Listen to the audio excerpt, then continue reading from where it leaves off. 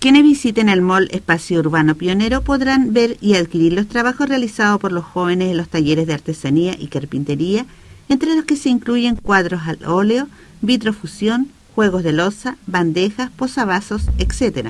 La presidenta del Club de Leones Cruz del Sur, Ruth Ortiz, dijo que para ellos es toda una satisfacción concretar esta iniciativa. Para el Club Leones, como les decía, es un verdadero placer y una satisfacción poder concretar esta iniciativa que se está dando gracias a la buena gestión del gerente del espacio urbano, eh, del MOL, ¿cierto? Y del gerente de DIS. Eh, es muy importante para nosotros porque nos permite dar a conocer y hacer partícipe a la comunidad de los trabajos que hacen nuestros jóvenes en el taller laboral. Esto va a permitir no solo exhibir, sino que también la comunidad pueda acceder ¿cierto? A, un valor obviamente mm, no, muy elevado a los trabajos que los niños hacen allá.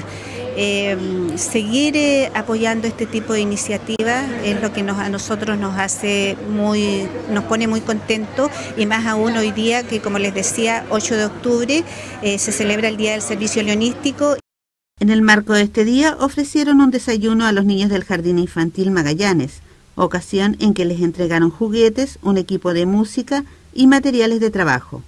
La inauguración de este local contó con la presencia de la presidenta del Club de Leones Cruz del Sur, Ruth Ortiz, el gerente del MOL Espacio Urbano Pionero, Felipe de la Barra, el presidente de la Corporación de Rehabilitación Club de Leones Cruz del Sur, Héctor Cabrera, y Asterio Andrade, director ejecutivo de la institución.